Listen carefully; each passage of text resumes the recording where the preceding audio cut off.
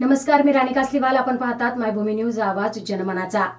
केंद्र सरकारने दोन महिन्यांपूर्वी लोकसभेत आणि राज्यसभेत कृषी विधेयक मंजूर केले होते.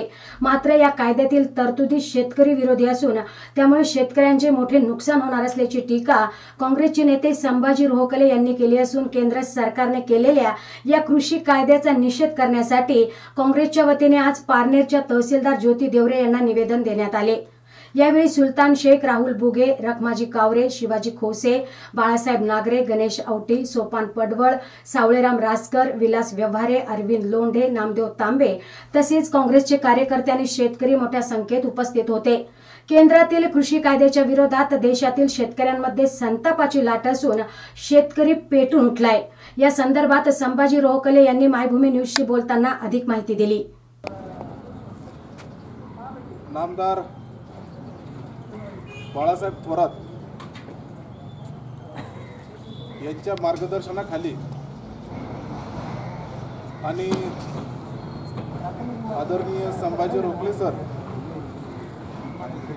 तालुकाध्यक्ष अखिल भारतीय काँग्रेस आणि त्याचबरोबर या ठिकाणी वेगवेगळे सेलचे अध्यक्ष उपाध्यक्ष आणि माझ्या तमाम शेतकरी बांधवांना आज केंद्र शासनाने बहुमत बहुमताच्या जोरावर केंद्रामध्ये शेत काही शेतकरी कायदे हे केलेले आहेत. सरकार सांगतं की हे शेतकरी कायदे हे शेतकऱ्यांच्या हितासाठी आहेत.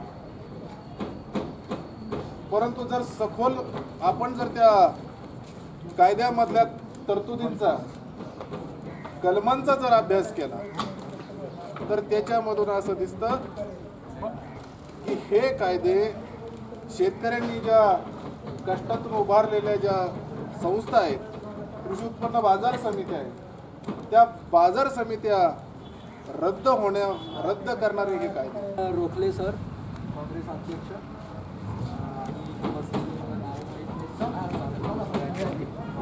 खरं म्हणजे हा कायदा अमेरिकेमध्ये लागू केला आणि अमेरिकेच्या सारख्या देशाची वाट लागली तर भारताचं काय होईल? हा मोठा प्रश्न आहे.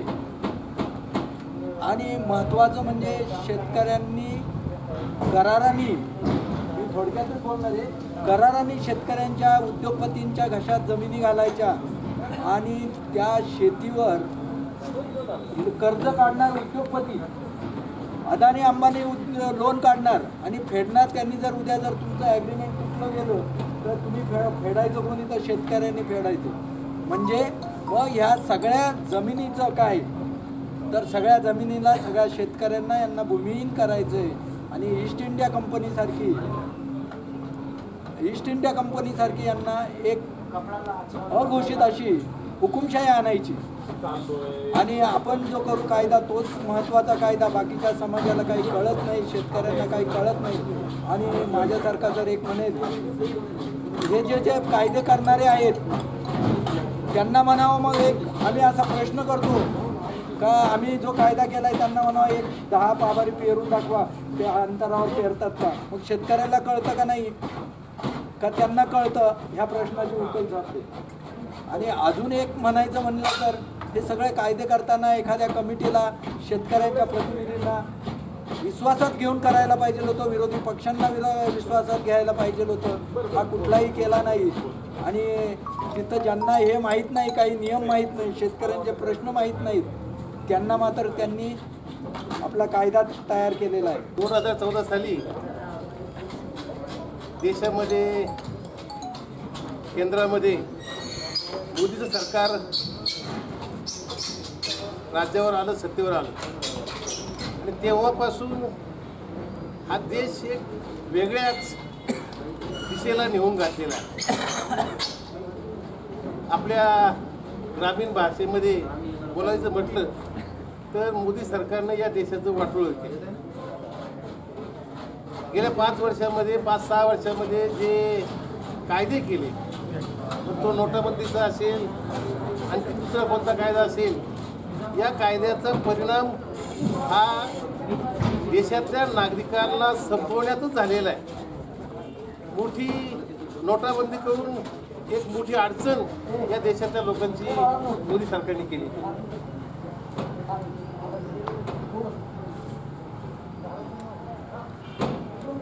गेल्या महिन्याभरापूर्वी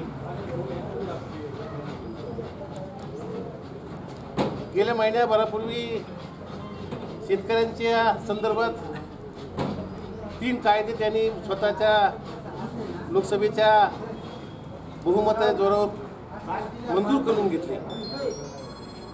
त्या कायद्यांना शेतकऱ्यांनी काळे कायदे म्हणून संबो संबोधलेले आहे त्या कायद्यामुळं हा या देशातला शेतकरी नेस्तनाबूत होणार आहे. आणि म्हणून पंजाब आणि हरियाणाच्या सरकारनं अतिशय पंजाब आणि हरियाणाच्या शेतकऱ्यांनी अतिशय चांगलं पाऊल उचललं आणि थेट दिल्लीवर त्यांनी मोर्चा काढला. त्या मोर्चाला सपोर्ट म्हणून त्या मोर्चाला एक एका प्रकारची मानसिक मदत म्हणून आम्ही या ठिकाणी राज्याचे